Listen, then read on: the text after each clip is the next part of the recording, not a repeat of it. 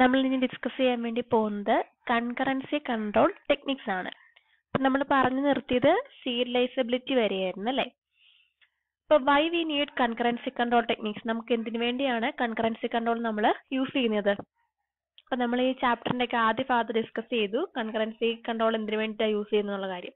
എന്താ concurrent execution എന്ന് പറഞ്ഞാൽ എന്താണ്? അറ്റ് എ ടൈമിൽ തന്നെ more than one transactions execute ചെയ്യുന്ന ഒരു പ്രോസസ്സാണ് കൺകറൻസി എന്ന് പറയുന്നത്. അപ്പൊ അങ്ങനെ എക്സിക്യൂട്ട് ചെയ്യുമ്പോൾ ഉള്ള പ്രോബ്ലം എന്ന് പറഞ്ഞാൽ എന്താണ്? നമ്മുടെ ഡേറ്റാബേസ് എന്ന് പറയുന്നത് ഒരു ഇൻകൺസിസ്റ്റന്റ് സ്റ്റേറ്റിൽ ആകും. അതായത് ഒന്നിലധികം ട്രാൻസാക്ഷൻസ് അറ്റ് എ ടൈമിൽ തന്നെ എക്സിക്യൂട്ട് ചെയ്യുമ്പോൾ നമ്മുടെ ഡേറ്റാബേസ് ഒരു ഇൻകൺസിസ്റ്റന്റ് സ്റ്റേറ്റിലോട്ടാകും അതിനെ ഒഴിവാക്കാൻ വേണ്ടിയാണ് നമ്മൾ കൺകറൻസി കൺട്രോൾ ടെക്നിക്കുകൾ യൂസ് ചെയ്യുന്നത്. ലോസ്റ്റ് അപ്ഡേറ്റ് പ്രോബ്ലം അതുപോലെ തന്നെ dirty read problem repeatable read problem അങ്ങനെയുള്ള ഒരുപാട് പ്രോബ്ലംസ് ഉണ്ടാവുന്നുണ്ട്. അതായത് ഒന്നിലധികം ട്രാൻസാക്ഷൻസ് എക്സിക്യൂട്ട് ചെയ്യുമ്പോൾ ഒരു ട്രാൻസാക്ഷൻ ഇപ്പോൾ അപ്ഡേറ്റ് ചെയ്തിട്ടുണ്ടെങ്കിൽ മറ്റു ട്രാൻസാക്ഷനെ അത് നോട്ടിഫൈ ചെയ്യണം. അപ്പൊ അങ്ങനെ നോട്ടിഫൈ ചെയ്യാതിരിക്കുമ്പോൾ ഈ അപ്ഡേറ്റ് ചെയ്യാത്ത ഡേറ്റകളെ മറ്റു ട്രാൻസാക്ഷൻസ് റീഡ് ചെയ്യുക. അതുപോലെ തന്നെ ഒരു ട്രാൻസാക്ഷൻ അപ്ഡേറ്റ് ചെയ്തുകൊണ്ടിരിക്കുന്ന ഡേറ്റ തന്നെ മറ്റൊരു ട്രാൻസാക്ഷൻ റീഡ് ചെയ്യുക. അങ്ങനെയൊക്കെ ഉണ്ടാകുമ്പോഴാണ് നമ്മുടെ ഡേറ്റാബേസ് ഇൻകൺസിസ്റ്റന്റ് സ്റ്റേറ്റിലോട്ട് ആയി പോകുന്നത്. അപ്പൊ ഇതിനെയൊക്കെ ഒഴിവാക്കാൻ വേണ്ടിയാണ് നമ്മൾ എന്ത് കൊണ്ടുവന്നിരിക്കുന്നത് കൺകറൻസി കൺട്രോൾ ടെക്നിക് എന്ന് പറയുന്ന ഒരു കൺസെപ്റ്റ് കൊണ്ടുവന്നിരിക്കുന്നത് We discuss a number of concurrency control techniques that are used to ensure the non-interference or isolation property of concurrently executing transaction. Most of these techniques ensure serializability of schedules which we defined in section using concurrency control protocols that guarantee serializability. One important set of protocols known as two-phase locking protocols employs the technique of locking data items to prevent multiple transactions from accessing the items concurrently. നമ്മൾ പറഞ്ഞ കാര്യം തന്നെ concurrency control technique main ആയിട്ടും ഒരു ട്രാൻസാക്ഷന്റെ isolation പ്രോപ്പർട്ടീനെയാണ് keep ചെയ്യുന്നത്. Isolation property അതായത് ഒരു ട്രാൻസാക്ഷൻ എക്സിക്യൂട്ട് ചെയ്യുന്നത് മറ്റൊരു ട്രാൻസാക്ഷൻ അഫക്ട് ചെയ്യാനായിട്ട് പാടില്ല. ആ ഒരു ഐസൊലേഷൻ പ്രോപ്പർട്ടീനെയാണ് നമ്മുടെ ഈ കൺകറൻസി എന്ന് പറയുന്ന കൺകറൻസി കൺട്രോൾ എന്ന് പറയുന്ന കൺസെപ്റ്റ് കീപ്പ് ചെയ്യുന്നത്. അപ്പൊ എല്ലാ കൺകറൻസി ടെക്നിക്കുകളും എൻഷുവർ ചെയ്യുന്ന കാര്യം എന്താണ്? സീരിയലൈസബിലിറ്റി സീരിയലൈസബിലിറ്റി എന്ന് പറഞ്ഞാൽ എന്താണ്? നമ്മുടെ ഡേറ്റാബേസ് ഇൻകൺസിസ്റ്റന്റ് സ്റ്റേറ്റിലോട്ട് പോകുന്നുണ്ടോ ഇല്ലയോ എന്നുള്ള കാര്യം ചെക്ക് ചെയ്യുന്ന ഒരു പ്രോപ്പർട്ടിയാണ് ഏത്? സീരിയലൈസബിലിറ്റി എന്ന് പറയുന്നത്. അതായത് എല്ലാ ഷെഡ്യൂൾസും സീരിയലൈസബിൾ ആണോ? വൺ ബൈ വൺ ആയിട്ട് എക്സിക്യൂട്ട് ചെയ്യുന്ന ട്രാൻസാക്ഷൻസ് ആണോ ഷെഡ്യൂളിനകത്തുള്ളത് അങ്ങനെയുള്ള ട്രാൻസാക്ഷൻസ് വന്നെങ്കിൽ മാത്രമാണ് ഒരു ഡേറ്റാബേസ് കൺസിസ്റ്റന്റ് സ്റ്റേറ്റിലാണെന്ന് പറയുന്നത്. അപ്പൊ സീരിയലൈസബിലിറ്റി എന്ന് പറഞ്ഞാൽ എന്താണ്? Check which schedule is serialisable that leaves a database system inconsistent state അതായത് വൺ ബൈ വൺ ആയിട്ട് എക്സിക്യൂട്ട് ചെയ്യുന്ന ട്രാൻസാക്ഷൻസ് വെച്ചുള്ള ഷെഡ്യൂൾ ആണെങ്കിൽ സീരിയൽ ഷെഡ്യൂൾ ആണെങ്കിൽ മാത്രമാണ് ഡേറ്റാബേസ് എന്ന് പറയുന്നത് കൺസിസ്റ്റന്റ് സ്റ്റേറ്റിലായിരിക്കുക അല്ലെങ്കിൽ ഇൻകൺസിസ്റ്റന്റ് സ്റ്റേറ്റിലായിരിക്കും അപ്പൊ അങ്ങനെയുള്ള കാര്യം എൻഷുർ ചെയ്യുന്ന ഒരു പ്രോപ്പർട്ടി കൂടിയാണ് ഏത്? നമ്മുടെ കൺകറൻസി കൺട്രോൾ ടെക്നിക് എന്ന് പറയുന്നത്. അപ്പൊ നമ്മൾ മെയിൻ ആയിട്ടും കൺകറൻസി കൺട്രോൾ പ്രോട്ടോകോൾസ് നമ്മൾ ഇനി പഠിക്കുന്നുണ്ട്. ആ പ്രോട്ടോകോൾസ് യൂസ് ചെയ്തിട്ടാണ് നമ്മൾ നമ്മുടെ ഡേറ്റാബേസിനെ കൺസിസ്റ്റന്റ് സ്റ്റേറ്റിൽ ആക്കി നിർത്തുന്നത്. അപ്പൊ അതിനുവേണ്ടി നമ്മൾ മെയിൻ ആയിട്ടും യൂസ് ചെയ്യുന്ന ഒരു ടെക്നിക്കാണ് ലോക്കിംഗ് എന്ന് പറയുന്നത്. നമ്മുടെ ഡേറ്റാബേസിനകത്തെ ഡേറ്റ ഐറ്റംസിനെ ലോക്ക് ചെയ്ത് നിർത്തുക. അതായത് ഒരു ട്രാൻസാക്ഷൻ യൂസ് ചെയ്യുന്ന ഡേറ്റ ഐറ്റം മറ്റൊരു ട്രാൻസാക്ഷൻ യൂസ് ചെയ്യാതിരിക്കുക. അതാണ് ലോക്കിംഗ് എന്ന് പറയുന്ന ഒരു കൺസെപ്റ്റിന്റെ ബേസിക് എന്ന് പറയുന്നത്. അങ്ങനെ ഒരു ടെക്നിക്ക് നമ്മൾ ഇംപ്ലിമെന്റ് ചെയ്യുമ്പോൾ തന്നെ എന്താ സംഭവിക്കുന്നേ? ഒരു ട്രാൻസാക്ഷൻ യൂസ് ചെയ്യുന്ന ഒരു ഡേറ്റ ആയിട്ട് മറ്റൊരു ട്രാൻസാക്ഷൻ ആക്സസ് ചെയ്യുന്നില്ല. അവിടെ തന്നെ വൺ ബൈ വൺ ആയിട്ടായിരിക്കും നമ്മുടെ ട്രാൻസാക്ഷൻ എക്സിക്യൂട്ട് ആവുന്നത്. അപ്പൊ അങ്ങനെ തന്നെ നമുക്ക് ഈ പ്രോബ്ലംസ് എല്ലാം സോൾവ് ചെയ്യാനായിട്ട് പറ്റും. ഇനി ആ ലോക്കിങ്ങിനകത്ത് നമ്മൾ പഠിക്കുന്ന ഒരു പ്രോട്ടോകോൾ ആണ് ടൈം സ്റ്റാമ്പ് പ്രോട്ടോകോൾ എന്ന് പറയുന്നത്. അപ്പൊ അതെല്ലാം നമുക്ക് ഇനി പഠിക്കാൻ വേണ്ടിയുള്ള ടോപ്പിക്കുകളാണ് അതുപോലെ തന്നെ ഗ്രാനുലാരിറ്റി ഓഫ് ഡേറ്റ ഐറ്റംസ് എന്നിങ്ങനെയുള്ള ടോപ്പിക്കുകളാണ് ഇനി പഠിക്കാൻ വേണ്ടി വരുന്നത്.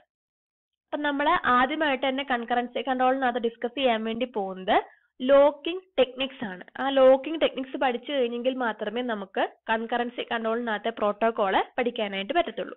അപ്പൊ ആദ്യം പഠിക്കാൻ വേണ്ടി പോകുന്നത് two phase locking techniques for concurrency control some of the main techniques used to control concurrent execution of transactions are based on the concept of locking data items.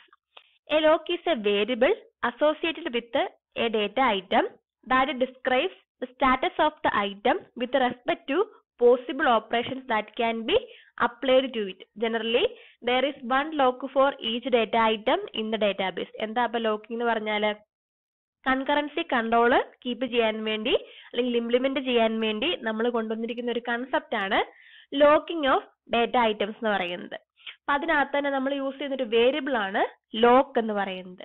അപ്പൊ ഈ ലോക്ക് എന്ന് പറയുന്ന വേരിയബിൾ നമ്മുടെ ഡേറ്റാബേസിനകത്തെ ഓരോ ഡേറ്റ ഐറ്റവുമായിട്ട് അസോസിയേറ്റ് ചെയ്ത് നിൽക്കുന്നു. ഇനി ആ ലോക്ക് എന്ന് പറയുന്ന വേരിയബിൾ എന്താണ് ഡിസ്ക്രൈബ് ചെയ്യുന്നത്? ആ ഡേറ്റ ഐറ്റത്തിന്റെ സ്റ്റാറ്റസ് ആണ് ഡിസ്ക്രൈബ് ചെയ്യുന്നത്. അതായത് ആ ഡേറ്റ ഐറ്റത്തിൽ നമുക്ക് എന്തെങ്കിലും ഓപ്പറേഷൻസ് ചെയ്യാൻ പറ്റുമോ ഇല്ലയോ എന്നുള്ള ഒരു സ്റ്റാറ്റസ് ആണ് ഈ ലോക്ക് എന്ന് പറയുന്ന വേരിയബിൾ പ്രൊവൈഡ് ചെയ്യുന്നത്. പിന്നെ പറഞ്ഞിരിക്കുന്ന കാര്യം എന്താണ്? ഡേറ്റാബേസിനകത്തെ ഒരു ഡേറ്റ ഐറ്റത്തിനകത്ത് അറ്റ് എ ടൈമിൽ ഒരു ലോക്ക് മാത്രമേ പാടുള്ളൂ. ആ കാര്യം കൂടെ ഓർത്തിരിക്കുക. ഇനി ഈ ടു ഫേസ് ലോക്കിംഗ് ടെക്നിക്സ് അല്ലെങ്കിൽ കൺകറൻസിയുമായിട്ട് ബന്ധപ്പെട്ട് നമ്മൾ ഡിസ്കസ് ചെയ്യാൻ വേണ്ടി പോകുന്ന കാര്യങ്ങൾ ടൈപ്സ് ഓഫ് ലോക്സ് ലോക്കിംഗ് ടൈപ്സുകൾ ലോക്ക് എന്താന്നുള്ള കാര്യം പറയുന്നുണ്ട്. പിന്നെ ഡിസ്കസ് ചെയ്യുന്നത് പ്രോട്ടോകോൾസ് നമ്മുടെ സീരിയലൈസബിലിറ്റി പ്രൊവൈഡ് ചെയ്യാൻ വേണ്ടി പറ്റുന്ന കൺകറൻസി കൺട്രോളിനകത്ത് യൂസ് ചെയ്യുന്ന പ്രോട്ടോകോൾസ് പിന്നെ ഈ ലോക്ക് യൂസ് ചെയ്യുമ്പോൾ ഉണ്ടാകുന്ന രണ്ട് പ്രോബ്ലംസ് ലോക്ക് സ്റ്റാർവേഷൻ എന്ന് പറയുന്ന രണ്ട് പ്രോബ്ലംസ് അവയെ എങ്ങനെയാണ് സോൾവ് ചെയ്യുന്നത്? How we handle these problems എങ്ങനെയാണ് അവയെ സോൾവ് ചെയ്യുന്നത്? ഇത്രയും കാര്യങ്ങളാണ് നമ്മൾ ഈ ടോപ്പിക്കുമായിട്ട് ബന്ധപ്പെട്ട് ഡിസ്കസ് ചെയ്യാൻ വേണ്ടി പോകുന്നത്.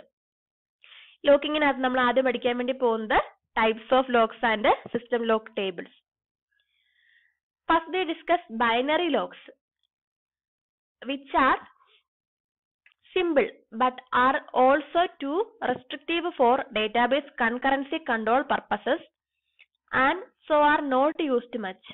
We discuss shared or exclusive locks also known as read-write locks which provide more general locking capabilities and are used in database locking schemes. അപ്പം നമ്മൾ കൺകറൻസിക്കകത്തെ ലോക്കിംഗ് ടെക്നിക്ക് പറഞ്ഞു അതിനകത്ത് തന്നെ ടു ഫേസ് ലോക്കിംഗ് ഉണ്ടെന്ന് പറഞ്ഞു രണ്ട് ടൈപ്പ് ലോക്കുകളാണ് നമ്മൾ സാധാരണയായിട്ട് ഡാറ്റാബേസിനകത്ത് യൂസ് ചെയ്യുന്നത്. ഒന്നാമത്തതാണ് ഏത്? ബൈനറി ലോക്സ് എന്ന് പറയുന്നത്. ബൈനറി ലോക്സ് ആണ് ഒന്നാമത്തത്. രണ്ടാമത്തതാണ് ഷെയർഡ് അല്ലെങ്കിൽ എക്സ്ക്ലൂസീവ് ലോക്ക് അല്ലെങ്കിൽ read write locks read or write locks അല്ലെങ്കിൽ ഷെയർഡ് ഓർ എക്സ്ക്ലൂസീവ് ലോക്ക് ഈ രണ്ട് ടൈപ്പ് ലോക്കുകളാണ് നമ്മൾ സാധാരണയായിട്ട് കൺകറൻസി കൺട്രോളിനകത്ത് യൂസ് ചെയ്യുന്നത്. അതിനകത്ത് തന്നെ ബൈനറി ലോക്ക് എന്ന് പറയുന്നത് സിമ്പിൾ ആണ്. പക്ഷേ നമ്മുടെ കൺകറൻസി കൺട്രോളിന്റെ നൂറ് ശതമാനം നമുക്ക് അതിനകത്ത് ഇംപ്ലിമെന്റ് ചെയ്യാൻ പറ്റത്തില്ല. കുറച്ചധികം റെസ്ട്രിക്ഷൻസ് ഉണ്ട്. അതുകൊണ്ട് തന്നെ നമ്മൾ അധികം അത് യൂസ് ചെയ്യുന്നില്ല. നമ്മൾ കൂടുതലായിട്ടും യൂസ് ചെയ്യുന്ന ഏതാണ്? ഷെയർഡ് ഓർ എക്സ്ക്ലൂസീവ് ലോക്കാണ് നമ്മൾ കൂടുതലായിട്ട് യൂസ് ചെയ്യുന്നത്. അപ്പൊ ആദ്യമേ ഡിസ്കസ് ചെയ്യാൻ വേണ്ടി പോകുന്നത് ലോക്കിംഗ് ടെക്നിക്സിനകത്ത് ഒന്നാമത്തെ ലോക്കായിട്ടുള്ള binary locks a binary lock can have two states or values locked and unlocked 1 or 0. A distinct lock is associated with each database item X. If the value of the lock on X is 1, item X cannot be accessed by a database operation that requests the item.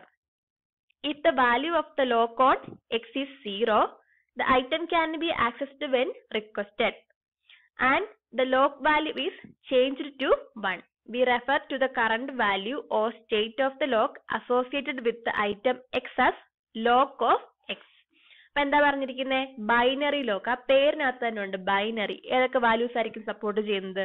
സീറോയും വണ്ണും binary ലോക്കുമായിട്ട് associate ചെയ്ത് ഒരു data ഐറ്റത്തിന് രണ്ട് സ്റ്റേറ്റുകളാണുള്ളത് അല്ലെങ്കിൽ രണ്ട് values ആണുള്ളത്. ഏതൊക്കെയാണ് ആ values ലോക്ക്ഡും അൺലോക്ക്ഡും ഡേറ്റ ഐറ്റം ലോക്ക്ഡ് ആകാം. ഡേറ്റ ഐറ്റം അൺലോക്ക്ഡ് ആകാം. ഇനി ഏതൊക്കെ വാല്യൂസ് ആണുള്ളത് വൺ അല്ലെങ്കിൽ സീറോ എന്ന് പറയുന്ന വാല്യൂസ് ആണുള്ളത് ഇനി ഡേറ്റ ഐറ്റത്തിന്റെ വാല്യൂ അതായത് ലോക്കിന്റെ വാല്യൂ വൺ ആണെങ്കിൽ ഇവിടെ എക്സ് എന്ന് പറയുന്നതാണ് കേട്ടോ ഡേറ്റാബേസിനകത്തെ ഐറ്റം ഡേറ്റാബേസിനകത്ത് ഒരുപാട് ഐറ്റംസ് ഉണ്ട്. അതിനകത്ത് നമ്മൾ എടുക്കുന്ന ഒരു ഐറ്റം പർട്ടിക്കുലർ ഐറ്റം എക്സ് ആണെന്ന് വിചാരിക്കാം ആ ഐറ്റത്തിന്റെ ലോക്കിന്റെ വാല്യൂ വൺ ആണെങ്കിൽ അത് മീൻ ചെയ്യുന്നത് എന്താണ്? ആ ഡേറ്റ ഐറ്റം ലോക്ക്ഡ് ആണ്. വൺ ആണെങ്കിൽ ലോക്ക്ഡ് ആണ്. ആ ഡേറ്റ ഐറ്റത്തിനെ മറ്റ് ട്രാൻസാക്ഷൻസിന് യൂസ് ചെയ്യാനായിട്ട് പറ്റത്തില്ല. അത് ലോക്ക് ചെയ്ത് വെച്ചിരിക്കുന്ന ട്രാൻസാക്ഷൻ ഏതാണോ ആ ട്രാൻസാക്ഷന് മാത്രമേ ആ ഒരു ഡേറ്റ ഐറ്റത്തിനെ യൂസ് ചെയ്യാനുള്ള പെർമിഷൻ ഉള്ളൂ. ഇനി അടുത്ത വാല്യൂ ഏതാണ്? സീറോ ആണ് അടുത്ത വാല്യൂ അപ്പൊ ഡേറ്റ ഐറ്റത്തിന്റെ ലോക്കിന്റെ വാല്യൂ സീറോ ആണെങ്കിൽ അത് മീൻ ചെയ്യുന്ന എന്താണ്? ആ ഡേറ്റ ഐറ്റം അൺലോക്ക്ഡ് ആണ്. അതായത് ഫ്രീ ആയിട്ടിരിക്കുകയാണ്. ഏത് ട്രാൻസാക്ഷൻ വേണമെങ്കിലും അതിനെ റിക്വസ്റ്റ് ചെയ്ത് ലോക്ക് ചെയ്ത് യൂസ് ചെയ്യാവുന്നതേ ഉള്ളൂ. ഇനി അങ്ങനെ ഒരു ട്രാൻസാക്ഷൻ റിക്വസ്റ്റ് ചെയ്യുകയാണെങ്കിൽ അൺലോക്ക് ആയിട്ടിരിക്കുന്ന ഡേറ്റ ഐറ്റത്തിനെ നമ്മൾ എന്തായിട്ട് മാറ്റും? ലോക്ക് ആയിട്ട് മാറ്റും. അതായത് സീറോ എന്നുള്ള വാല്യൂ വീണ്ടും വൺ ആയിട്ട് ചേഞ്ച് ചെയ്യും. അപ്പൊ ഓർത്തിരിക്കുക രണ്ട് വാല്യൂസ് ആണുള്ളത്. സീറോയും വണ്ണുമാണുള്ളത് ലോക്ക്ഡും അൺലോക്ക്ഡും രണ്ട് സ്റ്റേറ്റുകളാണുള്ളത് സീറോ ആണെങ്കിൽ ആ ഒരു ഡേറ്റ ഐറ്റം അൺലോക്ക്ഡ് ആണെന്നാണ് മീൻ ചെയ്യുന്നത്. അതായത് മറ്റു ട്രാൻസാക്ഷൻസ് ഏത് ട്രാൻസാക്ഷൻ വേണമെങ്കിലും ആ ഡേറ്റ ഐറ്റത്തിനെ നമുക്ക് റിക്വസ്റ്റ് ചെയ്ത് യൂസ് ചെയ്യാം. ഇനി വൺ ആണെങ്കിൽ എന്താ മീൻ ചെയ്യുന്നത്? ആ ഒരു ഡേറ്റ ഐറ്റം ലോക്ക്ഡ് ആണ്. ആ ലോക്ക് ചെയ്ത് വെച്ചിരിക്കുന്ന ട്രാൻസാക്ഷന് മാത്രമേ ആ ഡേറ്റ ഐറ്റത്തിനെ ആക്സസ് ചെയ്യാനായിട്ട് പറ്റത്തുള്ളൂ. അപ്പൊ അത്രയും കാര്യങ്ങൾ ഓർത്ത് വെക്കുക. നമ്മളിത് കാണിക്കാൻ വേണ്ടിയിട്ട് നമ്മൾ യൂസ് ചെയ്യുന്ന ഒരു വേരിയബിൾ ആണ് ലോക്ക് ഓഫ് എക്സ് എന്ന് പറയുന്നത്. ലോക്ക് എന്ന് പറഞ്ഞ ഒരു വേരിയബിൾ യൂസ് ചെയ്തിട്ടാണ് നമ്മൾ എക്സ് എന്ന് പറയുന്ന ഡേറ്റ ഐറ്റത്തിന്റെ സ്റ്റേറ്റുകൾ നമ്മൾ കാണിക്കുന്നത്. ഇനി അടുത്ത പാരഗ്രാഫിനകത്ത് കൊടുത്തിരിക്കുന്ന നോക്കി two operations lock item and unlock item are used with binary locking. A transaction request access to an item X by first issuing a lock item of X operation. If lock of X equal to 1, the transaction is forced to wait. If lock of X equal to 0, it is set to 1. The transaction locks the item and the transaction is allowed to access item X. when the transaction is through using the item it issues an unlock item of x operation which sets lock of x back to 0 unlocks the item so that x may be accessed by other transactions hence a binary lock enforces mutual exclusion on the data item അതായത് ഒരു binary ലോക്കുമായിട്ട് ബന്ധപ്പെട്ട് രണ്ട് operations ആണുള്ളത് lock ലോക്കും അതുപോലെ തന്നെ unlock ഐറ്റവും lock ഐറ്റവും unlock ഐറ്റവും എന്ന് പറയുന്ന രണ്ട് ഓപ്പറേഷൻസ് ആണുള്ളത് അപ്പോൾ ഒരു ട്രാൻസാക്ഷന് എക്സ് എന്ന് പറയുന്ന ഒരു ഡേറ്റ ഐറ്റത്തിനെ യൂസ് ചെയ്യാനായിട്ട് വേണമെങ്കിൽ ആ ട്രാൻസാക്ഷൻ എന്ത് ചെയ്യണം? ലോക്ക് ഐറ്റം ഓഫ് എക്സ് എന്ന് പറയുന്ന ഒരു റിക്വസ്റ്റ് കൊടുക്കണം. ആ റിക്വസ്റ്റിനകത്ത് നമ്മുടെ എക്സിന്റെ വാല്യൂ സീറോ ആണെങ്കിൽ മാത്രമാണ് നമുക്ക് ആ ട്രാൻസാക്ഷന് എക്സ് എന്ന് പറയുന്ന ഡേറ്റ ഐറ്റത്തിനെ യൂസ് ചെയ്യാനായിട്ട് പറ്റുക. ഇനി ആ ലോക്ക് ഓഫ് എക്സ് എന്ന് പറയുന്നത് നമ്മുടെ ആ വേരിയബിളിന്റെ വാല്യൂ വൺ ആണെന്നിരിക്കട്ടെ അങ്ങനെയാണെങ്കിൽ നമ്മൾ റിക്വസ്റ്റ് കൊടുത്ത ട്രാൻസാക്ഷൻ എന്ത് ചെയ്യണം? ആ ലോക്ക് ഓഫ് എക്സിന്റെ വാല്യൂ സീറോ ആവുന്നോടം വരെ വെയിറ്റ് ചെയ്യണം. എപ്പോഴാണോ അതിന്റെ വാല്യൂ സീറോ ആകുന്നത് അപ്പോൾ മാത്രമേ നമ്മൾ ഈ രണ്ടാമത് റിക്വസ്റ്റ് കൊടുത്ത ട്രാൻസാക്ഷന് ആ ഒരു എക്സ് എന്ന് പറയുന്ന ഡേറ്റ ഐറ്റത്തിനെ യൂസ് ചെയ്യാനായിട്ട് പറ്റുകയുള്ളൂ. ഇനി യൂസ് ചെയ്ത് കഴിഞ്ഞാലോ? ലോക്ക് ചെയ്ത് വെച്ചിരിക്കുന്ന ഒരു ട്രാൻസാക്ഷൻ ആ ഒരു ഡേറ്റ ഐറ്റത്തിനെ യൂസ് ചെയ്ത് കഴിഞ്ഞാലോ അതിന് എന്ത് ചെയ്യണം? അൺലോക്ക് ചെയ്യണം. അപ്പൊ അൺലോക്ക് ആയിട്ട് എന്ന് പറയുന്ന ഓപ്പറേഷൻ ആയിരിക്കും അവിടെ നടക്കുന്നത്. അങ്ങനെ അൺലോക്ക് ചെയ്ത് കഴിഞ്ഞാൽ ഈ ലോക്ക് ചെയ്ത് വെച്ചിരിക്കുന്ന ട്രാൻസാക്ഷൻ അതിന് മേലുള്ള ആക്സസ് അല്ലെങ്കിൽ പെർമിഷൻ അവിടെ കൊണ്ട് എൻഡ് ചെയ്യുന്നു. അത് കഴിഞ്ഞ് വരുന്ന ട്രാൻസാക്ഷൻ അതായത് ക്യൂവിൽ നിൽക്കുന്ന ട്രാൻസാക്ഷൻ അല്ലെങ്കിൽ വെയിറ്റ് ചെയ്ത് നിൽക്കുന്ന ട്രാൻസാക്ഷന് ഈ ഐറ്റത്തിന് ആക്സസ് ചെയ്യാൻ പറ്റുന്നതേ ഉള്ളൂ. അപ്പൊ ഈ ഓപ്പറേഷൻസ് ആണ് ഇവിടെ തന്നിരിക്കുന്നത്. ബൈനറി ലോക്സിനകത്ത് വരുന്ന ഓപ്പറേഷൻസ് ആണ് ഈ തന്നിരിക്കുന്നത്.